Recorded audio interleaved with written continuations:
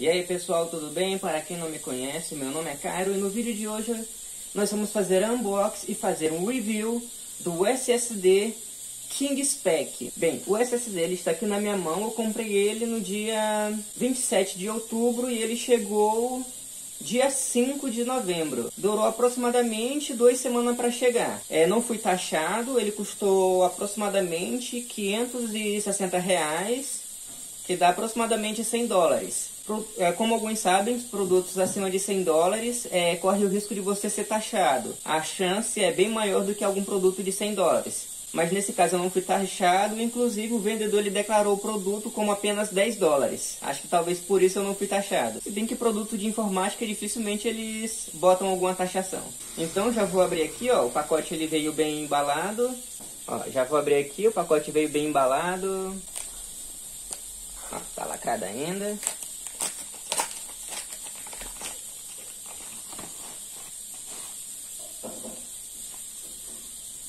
Já estou com o produto aqui em mãos, ó. 3 anos de garantia. Ele é um NVMe de 1 terabyte. Geralmente aqui no Brasil, pelo valor de 560 reais, um SSD NVMe você compra é de 240 terabytes, ou seja, um quarto da capacidade desse SSD que eu comprei, por apenas 460, ou 560 na verdade. Já vou abrir aqui. Ó, tá aqui ele, ó, direitinho. Marca King Spec. O modelo é o NE220 ou 280, 2280. Tô ruim com o número hoje. Ó.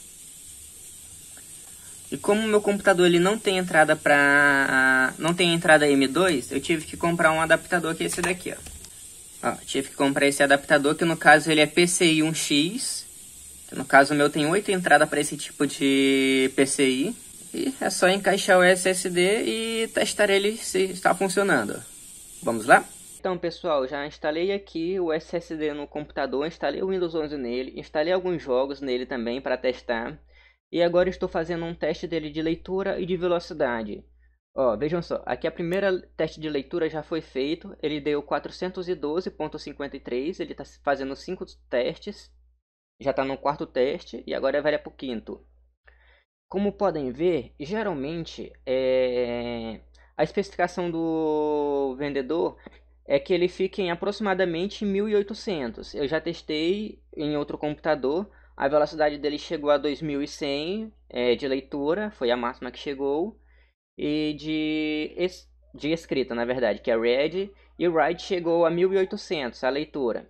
Então ele está nas expectativas. Mas aí você deve estar se perguntando por que é que, que ele está dando apenas 400, 412. Isso é porque, como vocês viram no início do vídeo, como o meu computador não tem uma entrada própria para uma entrada própria M2 para o SSD, eu tive que colocar ele num adaptador PCI Express 1X.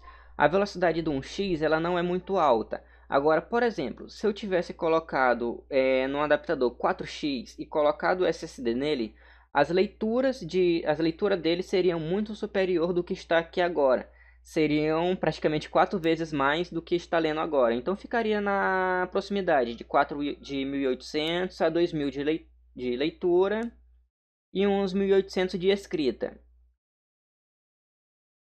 Ó, vou esperar apenas ele finalizar aqui para vocês verem como fica a leitura dele é, utilizando o PCI Express X1. Opa pessoal, ó, Kai acabou de finalizar os testes de leitura e de gravação. Como vocês podem ver, ó, o teste está abaixo da expectativa, como eu disse que é por causa da adaptador PCI Express. Se eu estivesse utilizando 4x, certeza que ele pegaria todo o desempenho do SSD.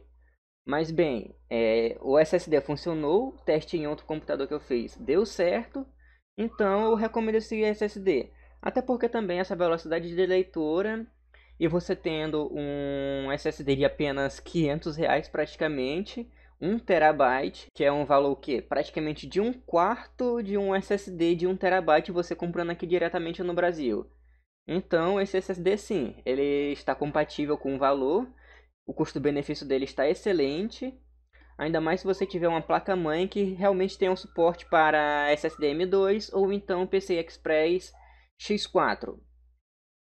4X, na verdade, você poderá ter o desempenho total dele. Então, pessoal, este foi o vídeo de hoje. Espero que tenham gostado. Se gostaram, se inscrevam no canal, ativem todas as notificações e deixem um comentário sobre o que achou do vídeo. Muito obrigado e até a próxima.